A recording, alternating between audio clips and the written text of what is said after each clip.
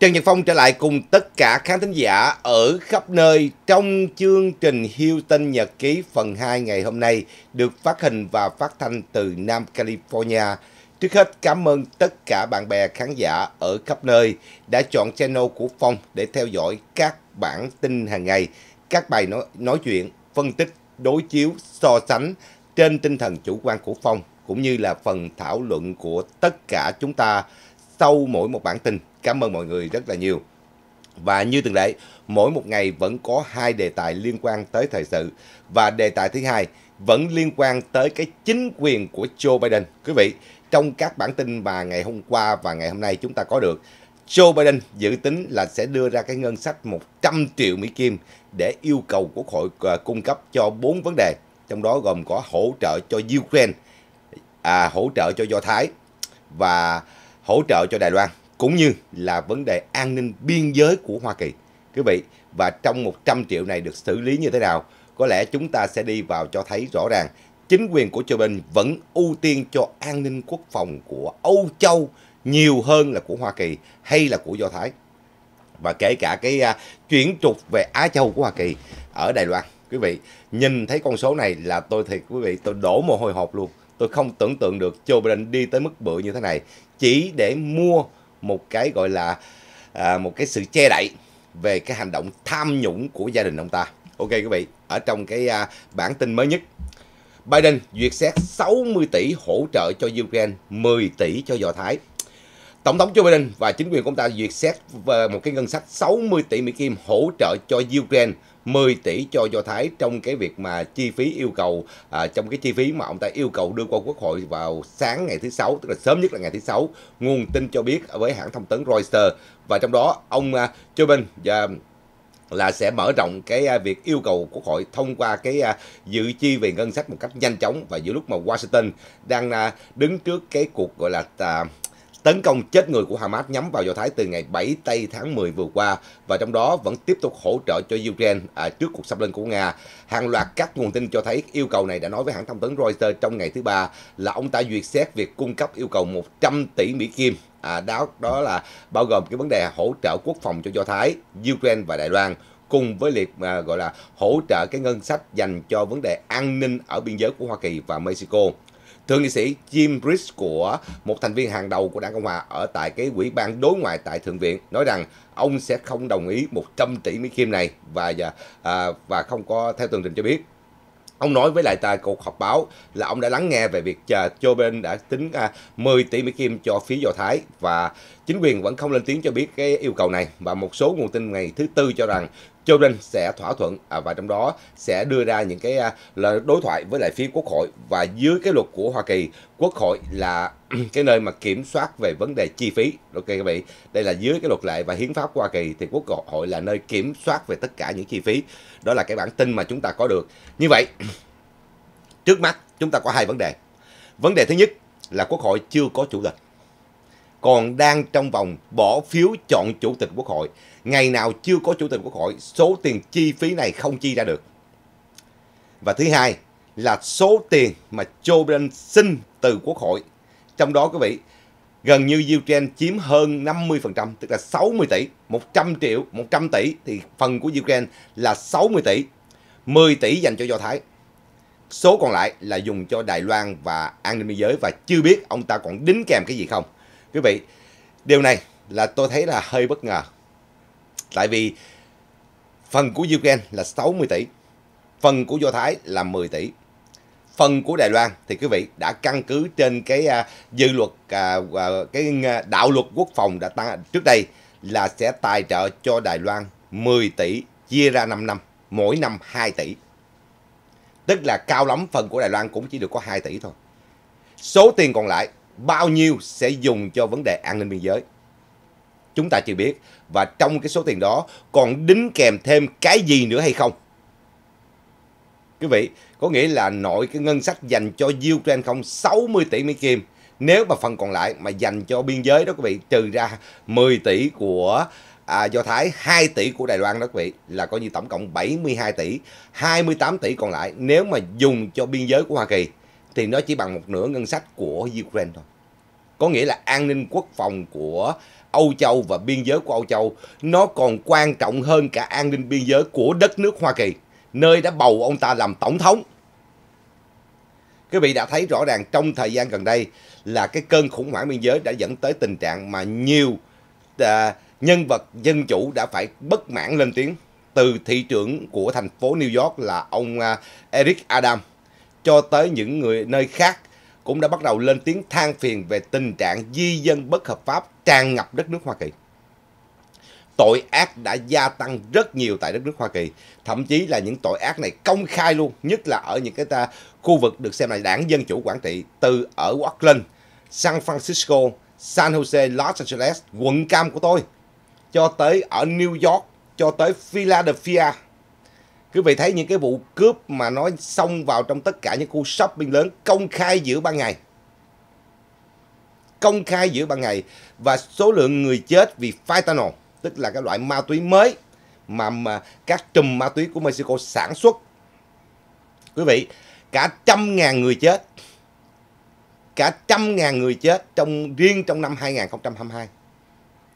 Trong khi đó, số lượng binh sĩ Hoa Kỳ mà thiệt mạng trong các cuộc chiến là bao nhiêu? So với số người chết vì fentanyl được tuồn ra từ biên giới của Mexico xâm nhập vào Hoa Kỳ. Quý vị, bây giờ cái an ninh biên giới chỉ bằng phân nửa số tiền an ninh biên giới của Âu Châu thôi. Tức là cung cấp cho Ukraine tới 60 tỷ Mỹ Kim. Còn an ninh biên giới của Hoa Kỳ chưa tới phân nửa cái ngân sách của ông ta xin nữa. Thì quý vị, với cái chính sách này, và tôi chưa biết là trong 28 tỷ còn lại đó, ông ta phần biên giới được bao nhiêu? Lần trước ông ta xin có 8 tỷ thôi, cho biên giới thôi. Trong tổng số cái ngân sách mà bốn mấy tỷ, an ninh biên giới được à, 8 tỷ, thiên tai nhân họa được 12 tỷ, còn Ukraine là 24 tỷ. Bây giờ quý vị, cái ngân sách ông ta xin ra là 100 tỷ. Giữa lúc mà nợ công Hoa Kỳ lên tới 33.000 tỷ. Tôi đang hỏi ông ta là tổng thống của đất nước Hoa Kỳ hay ông ta là một trong những phần tử của Âu Châu? Quý vị, đây chính là một trong những cái mà tôi nói với quý vị. Joe Biden lên, gần như là ông ta chỉ nhắm vào cái an ninh quốc phòng của Âu Châu ông ta chưa bao giờ quan quan tâm tới cái an ninh quốc phòng của nước Mỹ và đồng minh thân cận của Hoa Kỳ tại Trung Đông là Do Thái. Tôi đã từng nói quý vị, Do Thái có một cái mối liên hệ bonds, tức là một cái xương sống với Hoa Kỳ. Chúng ta không thể bỏ Do Thái được. Và Do Thái là một cái à, địa một cái à, địa địa điểm và một cái quốc gia quan trọng cho cái chiến lược mà Hoa Kỳ gây tầm ảnh hưởng ở tại Trung Đông suốt nhiều năm nay kể từ năm 1949 tới bây giờ. Sự hiện diện của Do Thái ở tại Trung Đông đã giúp cho Hoa Kỳ có cái tầm ảnh hưởng toàn bộ Trung Đông.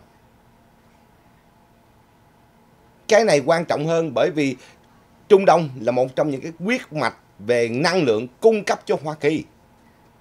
Một mặt thì ông ta đóng tất cả các ống dẫn khí đốt, rồi à, ngâm cấm khai thác tất cả những cái nguồn năng lượng của Hoa Kỳ đang có để sản xuất. Rồi một mặt khác, ông ta gây hấn với những nước Ả Rập để họ giới hạn tất cả những cái xuất cảng năng lượng vào đất nước Hoa Kỳ. Rồi lại khui ra cái à, quỹ dự trữ dầu liên bang của Hoa Kỳ. Đẩy giá năng lượng lên cao ngất trời. Quý vị, thiệt hại kinh tế của Hoa Kỳ từ những chính sách này mà ra. Ngược lại, ông ta mở cửa biên giới. Từ ma túy, gái mãi dâm, tội ác, rồi à, di dân lậu nó tràn vào đất nước Hoa Kỳ một cách kinh khủng. Tôi chưa bao giờ thấy một cái đời tổng thống nào mà nó kỳ cục như vậy. Rồi quý vị, ông ta lại thúc đẩy những cái nghị trình về môi trường. Không những là cấm khai thác dầu khí, cấm à, à, thực hiện các cái à, khai thác những vùng đất liên bang về khí đốt thiên nhiên. Bây giờ ông ta còn tiến hành cái chuyện gọi là kiểm soát luôn tất cả những cái tủ lạnh, những cái máy lạnh và kể cả cái lò nướng trong nhà của quý vị chỉ vì cái này nó là gây ô nhiễm môi trường bây giờ muốn cấm luôn hoặc là gây khó khăn cho những công ty sản xuất về những cái uh, những cái appliances này tức là những cái uh, dụng cụ ở trong nhà này những cái đồ dùng trong nhà này Trong khi từ xưa tới nay quý vị, Hoa Kỳ thống trị thế giới là nhờ những cái dụng những cái uh, dụng cụ này. Quý vị nhìn đi, những hãng như là uh, uh, General Motors, GM hay là General Electric tức là GE rồi uh, những cái hãng nổi tiếng của của Hoa Kỳ mà sản xuất về máy lạnh, máy giặt, máy sấy. Rồi uh, đó là tất cả những cái cả thế giới đều dùng hết. Bây giờ cứ đi đi khắp thế giới đi người ta kiếm những cái hiệu nổi tiếng của Hoa Kỳ. Bây giờ có thêm năm hàng là Samsung sản xuất thêm nữa. Nhưng mà những cái hiệu còn lại hầu hết là của Hoa Kỳ bây giờ ra cái luật này là giới hạn tất cả những cái uh, hoạt động của các công ty rồi bên cạnh đó quý vị ngăn cản không cho khai thác khí đốt thiên nhiên rồi gây hấn với lại các quốc gia Ả Rập qua cái vụ Do Thái và Palestine. Khiến cho mấy quốc gia Ả Rập trong tháng 11 sắp tới họ sẽ cắt giảm trữ lượng xuất cảng dầu thô. Họ phối hợp với Nga luôn. Vậy thì Hoa Kỳ lấy năng lượng từ đâu ra? Bây giờ lại đi tìm cách gọi là thỏa hiệp với Venezuela để mà có được một cái nguồn cung cấp năng lượng. Nhưng mà Venezuela đâu có đủ. Cái sức mà xài năng lượng của Hoa Kỳ từ các xe cộ cho tới các nhà máy sản xuất cho tới tất cả mọi thứ nó khổng lồ. Rồi bây giờ chuẩn bị khui luôn cái à, cái à, à, cái quỹ dự trữ dầu thô của Mỹ luôn. Bây giờ mình còn có 352 triệu thùng thôi khui được mấy lần nữa lần trước năm ngoái khui 180 triệu thùng từ 700 à, từ 7 à, hơn 750 triệu thùng bây giờ xuống còn phân nửa bây giờ xuống chỉ còn có phân nửa thôi. Tức là cái an toàn năng lượng của Hoa Kỳ đã rơi vào tình trạng nguy hiểm. Thì quý vị, thay vì chi ra ngân sách để củng cố cái năng lượng, củng cố cái an ninh biên giới, củng cố cái nội tình Hoa Kỳ, thúc đẩy kinh tế, thì bây giờ quý vị xin ngân sách riêng cho Ukraine không 60 tỷ Mỹ Kim. What the hell is this? Nó còn gấp đôi nếu như 28 tỷ còn lại mà dành cho an à, dành cho cái vấn đề an ninh quốc phòng đó của biên giới đó thì đã đỡ chút đi. Nhưng mà chưa chắc 28 tỷ còn lại là sẽ dành cho an ninh quốc phòng biên giới. Chưa chắc.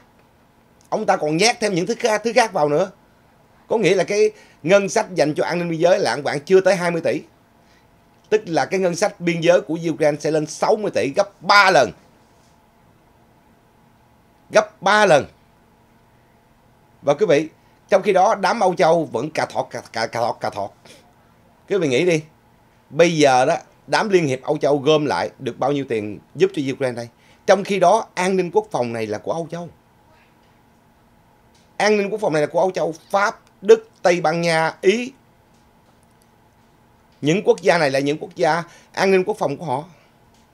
Mà bắt Hoa Kỳ phải gánh tới mức như vậy thì tôi không biết là Joe Biden đang là tổng thống của Hoa Kỳ hay ông ta đang là một công dân của Âu Châu.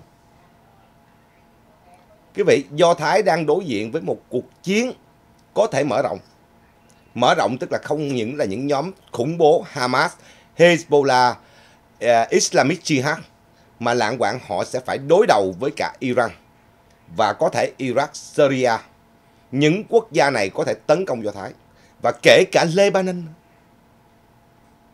Tôi không nói những quốc gia còn lại từ Saudi Arabia, Vương quốc Ả Rập, những quốc gia này họ giữ thái độ trung dung đi. Họ chỉ hỗ trợ hỗ trợ cho người Palestine đi. Nhưng mà những quốc gia như là Syria, Bashar al-Assad, tổng thống của Syria có thể can dự trực tiếp. Và Nga đang trú đóng tại đây nữa. Rồi quý vị, Iran chắc chắn sẽ tấn công Do Thái. Rồi họ sẽ kích động Iraq tấn công Do Thái luôn. Rồi miền Nam Lebanon đang có cuộc giao tranh giữa nhóm Hezbollah và của Do Thái. Lạng quạng Lebanon nói, hey, anh bắn vào biên giới của tôi, tôi gây chiến với anh luôn. Một mình Do Thái phải đối phó với mấy quốc gia ở khu vực Trung Đông mà chỉ có 10 tỷ, 10 tỷ Mỹ Kim thôi. 10 tỷ Mỹ Kim thôi quý vị. Thì quý vị, điều này cho thấy rằng Joe Biden dường như là ông ta đang muốn thúc đẩy những cái nghị trình của ông ta mà những nghị trình này gần như là thất bại hoàn toàn, đang đẩy thế giới tới cái sự nguy hiểm của tiềm năng bùng phát những cuộc à, xung đột vũ trang ở khắp nơi, chứ không phải riêng gì ở Trung Đông. Quý vị, cái lò lửa của Trung Đông đã nổ. Nhưng mà nó có dừng lại ở đó hay không? Có thể là cái cuộc xung đột giữa Trung Quốc và Đài Loan cũng bùng nổ. Và Trung Quốc và Đài Loan thì tôi vẫn chưa có thấy được cái hình ảnh này.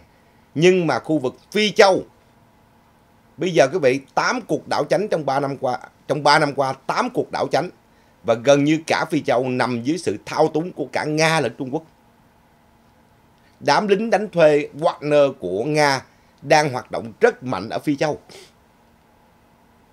Và Phi Châu là nơi được xem là có rất nhiều những cái nguồn cung cấp cho thế giới từ vấn đề à, năng lượng cho tới vấn đề khoáng mỏ về kim loại cho tới những cái khoáng mỏ quan trọng khác cho ngành kỹ thuật.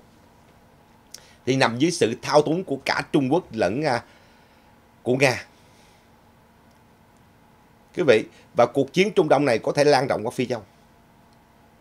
Chủ nghĩa Hồi giáo cực đoan Phi Châu sẽ tăng cường hoạt động rất mạnh. Coi như là cái chính sách của ông ta gần như là không làm được cái gì cho thế giới cả. Chỉ thỏa mãn một số phần tử cực đoan về môi trường thôi. Trong khi đó quý vị thấy rất là nguy hiểm cho đất nước Hoa Kỳ. Bây giờ xin cái ngân sách cho Ukraine không? 60 tỷ này nuốt được bao nhiêu? Và Ukraine với 60 tỷ này, họ có đẩy lùi được Nga ra khỏi lãnh thổ của họ hay không? Hay là chỉ mua thêm thời gian cho cuộc chiến này? Mua thêm thời gian cho cuộc chiến này. Chưa kể là quý vị, hôm qua hôm kia là Nga chính thức rút khỏi cái hiệp ước thử nghiệm vũ khí nguyên tử. Điều này đang báo hiệu là Nga có thể thử nghiệm lại nguyên tử và cung cấp vũ khí nguyên tử cho những quốc gia khác. Không ai cản Nga làm chuyện này cả. Lúc đó chúng ta còn phải đối diện với tiềm năng nguy hiểm hơn. Trong lúc Joe Biden tự mình tháo ra các đầu đạn nguyên tử từ 5.800 cái đầu đạn bây giờ chỉ còn có 3.500 cái đầu đạn thôi. Tự mình giảm nguyên tử luôn. Quý vị, có nghĩa là Hoa Kỳ đang đối diện với nguy hiểm mà cái quan trọng nhất là biên giới của nước Mỹ. Đó là an ninh quốc phòng. An ninh quốc phòng của mình cũng không bằng an ninh quốc phòng của Ukraine nữa. Và quý vị thấy mỗi một ngày vẫn có những di dân lậu tràn qua biên giới và bản báo cáo ngày hôm qua hôm kia quý vị thấy công dân của Syria, công dân của Iran, công dân của Lebanon, của Uzbekistan, công dân Trung Quốc và kể cả đám Việt Nam cũng đang tổ chức đường dây đưa người lậu qua biên giới Hoa Kỳ. Nó xâm nhập biên giới Hoa Kỳ một cách vô tội vạ luôn.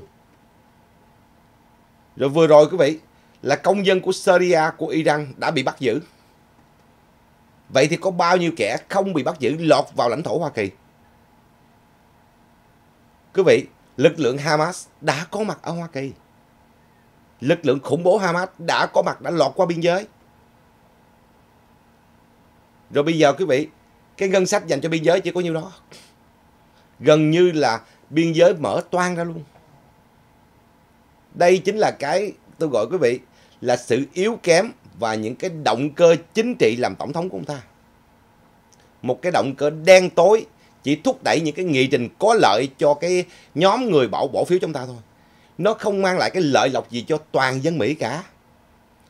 Rồi trong hơn một năm nay, nước Mỹ gồng gánh nhiều nhất là cái ngân sách của chiến tranh Ukraine. Bây giờ tiếp tục bơm vào. Trong khi cái đường hướng hay nhất là thay đổi quan điểm. Sử dụng cái quyền lực quân sự của mình trấn áp những quốc gia đe dọa này. Thì không làm. Thậm chí quý vị, đó bản báo cáo ngày hôm qua đó, Trung Quốc nó chặn ờ, máy bay của mình, rồi nó gây nguy hiểm cho máy, máy bay của mình tới 180 lần. Mà vẫn không có một cái phản ứng nào hết. So, nếu mà cái tình hình này mà nếu mà ông ta mà ngồi thêm 4 năm nữa, nước Mỹ sẽ như một cái mình rách luôn. Nước Mỹ sẽ không còn chỗ đứng trên thế giới luôn. Có cảnh nào mà nhục nhã bằng cái cảnh mà đi kia đi gặp người ta bị người ta từ chối không? Chưa bao giờ nước Mỹ gặp vào cái tình trạng này cả. Tổng thống Mỹ đi tới đâu là người ta xếp like sắp hàng để chờ gặp tới đó. Chưa bao giờ cảnh mà những tiểu quốc này nó phát ao mình nó không thèm gặp. Quý vị, bây giờ xin ngân sách cho 100, 100 tỷ. Tôi biết chắc chắn là Hạ viện sẽ không đồng ý rồi. Mặc dù bên Hạ viện bây giờ vẫn còn đang bầu ông chủ tịch Hạ viện. Đảng Cộng Hòa còn đang bị stuck trong vấn đề bầu chủ tịch Hạ viện. Và bây giờ cái đám ôn hòa trong đảng Cộng Hòa đã nhìn thấy rõ chưa? Hay là tiếp tục quậy nữa?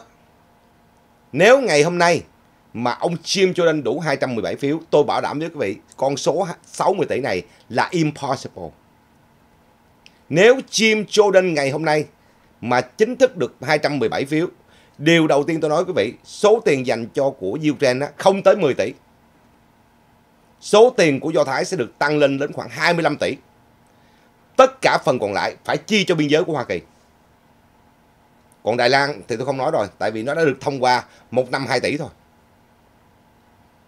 Thì quý vị, nếu ngày hôm nay Jim Jordan hội đủ lần thứ ba bỏ phiếu mà đủ 217 phiếu. Với những cái tin này đưa ra, tôi hy vọng rằng cái đám mà chống Jim Jordan nhìn rõ cục diện đi. Mình đang bơm bơm tiền, đốt tiền một cách vô lý vô cùng. Đốt tiền cho an ninh quốc phòng của nước khác, không phải của nước mình.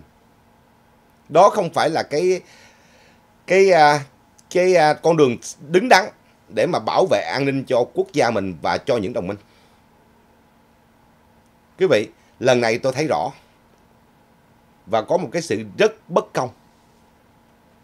Quý vị còn nhớ lúc trước ông Trump đòi phía Nam Hàn chi 5 tỷ cho vấn đề an ninh quốc phòng.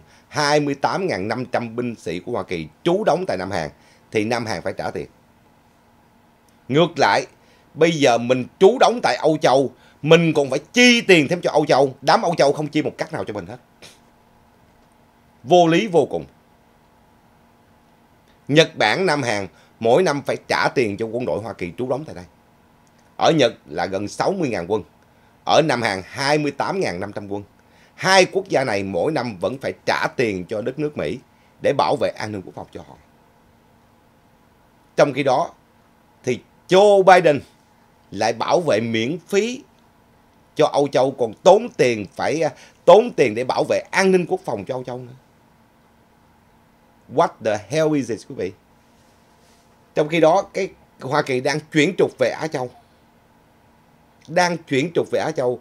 Hôm trước mà tôi nghe khi mà tôi đọc cái tin mà Philippines được 65 triệu để nâng cấp tất cả các cái à, căn cứ quân sự quốc phòng của họ để binh để binh sĩ Mỹ có thể ghé qua đó. Tôi muốn thất thần luôn. Một cái chiến lược đối phó với Trung Quốc 65 triệu Mỹ Kim. Còn an ninh quốc phòng của Âu Châu 113 tỷ Mỹ Kim. Sự sai biệt này nó như thế nào? Rồi bây giờ quý vị xin cho Do Thái, mà Do Thái là cái bài toán trước mắt. Ukraine cuộc chiến kéo dài đã hơn, đã gần 2 năm rồi. Gần 2 năm rồi. Mà không giảm còn tăng. Trong khi cái cuộc chiến trước mắt sắp sửa bùng nổ lớn là Do Thái chỉ có 10 tỷ thôi. Chỉ có 10 tỷ Mỹ Kim thôi. Thì quý vị, rồi nếu cuộc chiến này nó mở rộng ra thì sao? Và nó lan rộng không những ở Trung Đông mà nó lan rộng qua tới Phi Châu thì sao? Quý vị, dường như Joe Biden không phải làm việc cho nước Mỹ. Ông ta là con người toàn cầu hóa, ông ta đang làm việc cho Âu Châu. Tôi không thấy một cái gì có lợi cho Hoa Kỳ trong cái vấn đề hỗ trợ cho Ukraine cả. Đúng, về mặt uh, chiến lược quốc phòng thì Ukraine đóng một vai trò quan trọng. Nhưng nó chỉ là một vai trò quan trọng ở trong chiến lược quốc phòng thôi. Nó không phải nằm trong cái chiến lược toàn cầu của Hoa Kỳ. Nó chỉ đóng một phần ở Âu Châu thôi. Còn Hoa Kỳ trải quân của mình khắp toàn cầu. Từ Trung Đông, Trung Á cho tới Á Châu, cho tới Phi Châu, Nam Mỹ. Âu Châu chỉ là một phần thôi. Nhưng mà ông ta phê vờ cho Âu Châu tới mức như vậy tôi, tôi hết nói rồi. Trong khi Olaf Scholz, Emmanuel Macron tiền chi cho Ukraine bao nhiêu? Thậm chí Đức còn gây khó khăn không cho sử dụng vũ khí này, không cho sử dụng vũ khí khác. Còn mình thì phải chơi hết mình. Quý vị, điều này đẩy đất nước Mỹ tới một cái tình trạng nguy hiểm cạn kiệt về tài chính, nợ nần chồng chất, đời sống người dân Mỹ khó khăn và phải đối diện với tiềm năng tội ác đang tăng ở tại đất nước Mỹ. Tức là thiếu an toàn về cộng đồng luôn. Chưa bao giờ tôi thật quý vị từ ngày tôi qua Mỹ tới bây giờ gần 40 năm chưa bao giờ tôi chứng kiến một đất nước Mỹ tan hoang như vậy. Vừa tan hoang vừa băng hoại. Chưa bao giờ. Từ lúc mà kể cả 8 năm dưới thời Obama, kinh tế khó khăn, nhưng mà ít nhất mình cũng còn có sự an toàn. Bây giờ dưới thời Joe Biden, nó còn khủng khiếp hơn nữa. 8 năm dưới thời Obama, dân Mỹ đã chết lên chết xuống rồi. Vật lộn với kinh tế rồi. Bây giờ tới thời ông này còn thê thảm hơn nữa. Không những là phải vật lộn với kinh tế mà còn phải vật lộn với sự an toàn cho chính sinh mạng của mình. Đó quý vị thấy tới mức mà DC bây giờ chính ông uh, dân biểu của Texas ông à, uh, Soler đó quý vị ông này á, bị chĩa súng cướp xe ở ngay DC á. tới mức mà ông phải nói rằng trời ơi DC bây giờ còn nguy hiểm hơn cái district của tôi ở Texas nơi có biên giới với với Hoa Kỳ với Mexico nữa. Gần như quý vị ở DC bây giờ mỗi một ngày á những vụ bắn người á, nằm ầm ầm đó. Nó bám chí báo chí cánh tả nó che lại hết. Giết người cướp của rồi chưa kể là gì trộm xe đập kiến xe mỗi đêm nó xảy ra ngay giữa thủ đô của nước Mỹ tính chất an toàn của cộng đồng không còn. Bây giờ quý vị, những người nào mà lái xe đi ra những cái chợ, đậu xe parking là phải ngó xung quanh hết. Đẩy xe từ trong chợ ra phải ngó xung quanh hết. Không biết thằng nào nó vô nó cướp mình không. Rồi ngay cả trong chợ cũng không an toàn nữa. Nó tràn vô nó cướp. Nó tràn vô nó cướp, nó giật. Đó quý vị thấy vừa rồi ở Philadelphia đó. Trên 100 tên nó tràn vào tiệm Apple nó cướp đó. Chuyện gì xảy ra quý vị? Mà bây giờ an ninh biên giới của Hoa Kỳ, an ninh của đất nước Hoa Kỳ không được bao nhiêu tiền hết. Còn bao nhiêu dồn hết cho Ukraine. What the hell is this? Tôi phải hỏi câu đó. Rồi quý vị đi kiểu này, dân Mỹ làm sao còn gánh đây? Bây giờ quý vị, chính thằng thống đốc của California tăng lương cho những người làm fast food 20 Mỹ Kim. Tăng lương cho những người làm nghề y tế lên tới 25 Mỹ Kim là bởi vì đời sống quá cao. Nếu không tăng lương, làm sao người ta đủ đủ sống đây? Cái gì cũng tăng hết. Cái gì cũng tăng hết. Thì quý vị, đây chính là cái cách điều hành kinh tế của Joe Biden. Cuối cùng ông ta đâu có tập trung vào kinh tế, ông ta đâu có tập trung vào an ninh quốc phòng. Ông ta chỉ tập trung vào môi trường xã hội thôi, đi kiếm tiền cho mấy đứa chuyển giới, lấy tiền thuế người dân chi cho mấy đứa chuyển giới, lấy tiền thuế của người dân đi cho phá thai, lấy tiền thuế của người dân để mà cung cấp cho di dân bất hợp pháp. Trong khi chính dân Mỹ cũng không được. Con em của mình học ở trong trường nhiều khi không được ăn bữa ăn trưa nữa. Tại vì mình là người có lợi tức trên trung bình. Trong khi con cái của di dân bất hợp pháp là đầy đủ hết luôn. Quý vị, nước Mỹ này là nước gì vậy? Đành rằng chúng ta là nước di dân nhưng mà di dân hợp pháp. Bây giờ nó quậy tưng bừng hết luôn. Hôm trước còn ra cái luật cấm tất cả các ngân hàng không được từ chối các món nợ, các món vay nợ của di dân bất hợp pháp nữa. Tôi không biết ông ta đang điều hành nước Mỹ hay ông ta đang phá nước Mỹ đây. Tan nát hết. Bây giờ tôi thật quý vị, những tiểu bang ở mà Red State, tức là những tiểu bang mà do phía đảng Cộng Hòa kiểm soát, thì an ninh còn đỡ. Còn những tiểu bang mà đảng Dân Chủ kiểm soát bây giờ quý vị gần như out control. Gần như out control luôn. Tức là ngoài tầm kiểm soát luôn. Mức độ tội ác ở Oakland, ở San Francisco, ở San Jose, Los Angeles, rồi Chicago, New York. Nó tan nát hết luôn. Quý vị, đây chính là những cái gương mặt của nước Mỹ đó. Bây giờ nó trở thành tan nát như vậy. Là vì đâu? chính sách môi trường và xã hội. Chính sách này cuối cùng là gì? Nó đang phá nát tất cả cái hệ thống kinh tế tư bản của Mỹ. Nó đang làm băng hoại tất cả xã hội Mỹ. Nó đang làm cho nước Mỹ trở nên thiếu an toàn hơn. Quý vị tự suy nghĩ lấy và tự nhìn lấy tất cả những gì đang xảy ra xung quanh mình để coi Joe Biden làm tổng thống kiểu gì. Ông ta là tổng thống của Hoa Kỳ hay ông ta là công dân của Âu Châu? Quý vị tự đặt câu hỏi. tự trả lời. Cảm ơn tất cả các thính giả rất là nhiều cho bài nói chuyện này. Phong sẽ trở lại cùng tất cả các thính giả ở khắp nơi trong chương trình kế tiếp của TNP Channel. Xin quý vị và các bạn nhớ đón nghe và theo dõi. Cảm ơn tất cả các khán giả và chúng ta sẽ gặp lại sau. Bye bye.